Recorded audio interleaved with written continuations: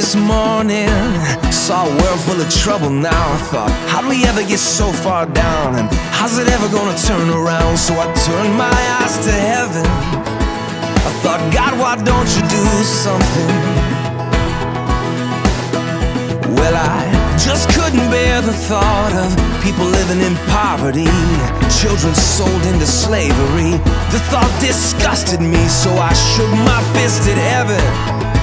I said, God don't you do something? He said,